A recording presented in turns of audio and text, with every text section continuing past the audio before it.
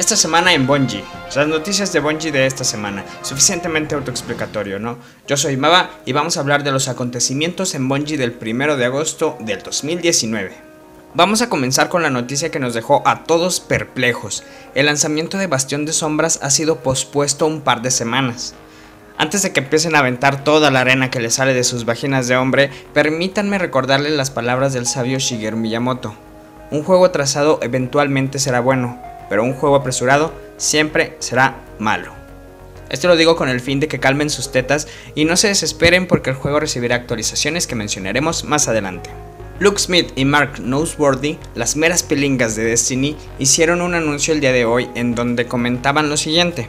Según nos vamos acercando más y más al lanzamiento de Bastión de Sombras y Nueva Luz, vemos con claridad que a nuestros proyectos para este otoño les vendría bien un poco más de tiempo en el horno. Ser independiente significa que el futuro de Destiny 2 está totalmente en manos de nuestro equipo.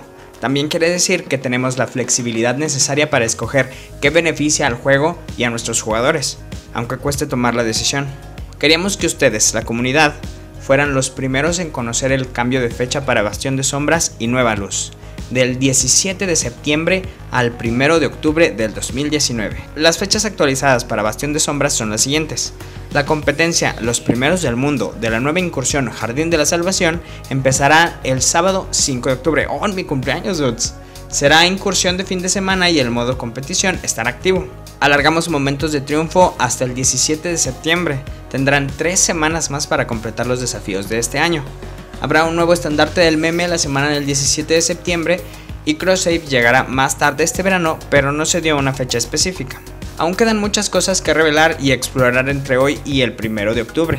El blog saldrá la siguiente semana con detalles referentes a Cross-Save, migración en PC y todo lo que necesitas saber para empezar a partir pitos este otoño. Actualmente el solsticio de los héroes está activo, la zona aérea europea está flotando y los guardianes están regocijándose con los bobs elementales diarios.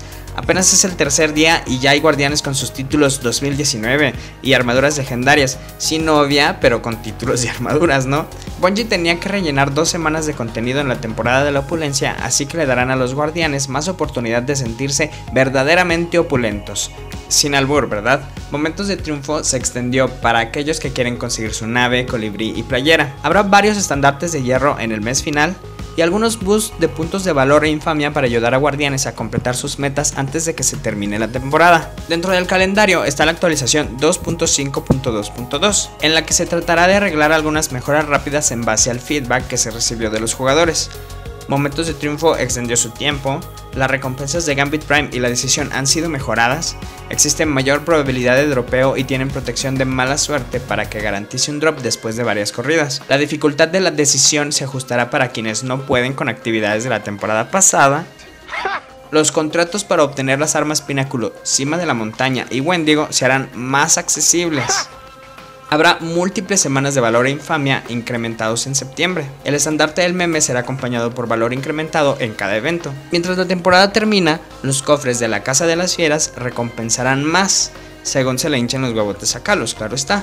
En la semana de la actualización 2.5.2.2 se hará un reto de la comunidad, digámoslo así, así que estén al pendiente para más detalles. También, a pesar de que los momentos de triunfo fueron extendidos, el solsticio de los héroes terminará el 27 de agosto. Así que si quieres completar todos los triunfos, asegúrate de conseguir esa maldita armadura y hacer al menos una obra maestra antes de esa fecha. Esta semana llegó la actualización 2.5.2 y como hay cosas nuevas, obviamente hay errores nuevos porque si no, no sería Bungie. Hubo un error en donde un consumible llamado imán o magneto de fragmentos de llaves del solsticio no mejoraba las probabilidades de recibir fragmentos de llaves extra, así que para no entrar en pedos la quitaron totalmente del juego. Si llegaste a comprar algunas, no te preocupes, pues se tratará de regresar el polvo brillante que gastaste al comprarla.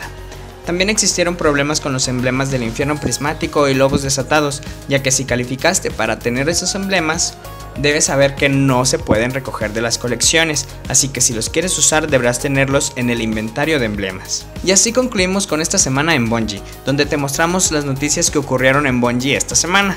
Si te gusta este tipo de contenido, házmelo saber para traerte más videos de los que quieres. También espero que tengas un agosto lleno de éxito y sorpresas. Buenas sorpresas y no sorpresas de las que te hacen en prisión o sorpresas en pruebas de embarazo. Y si quieres ver contenido de Destiny regularmente, te invito a suscribirte. Y dude, me despido. Cuídate mucho. Bye.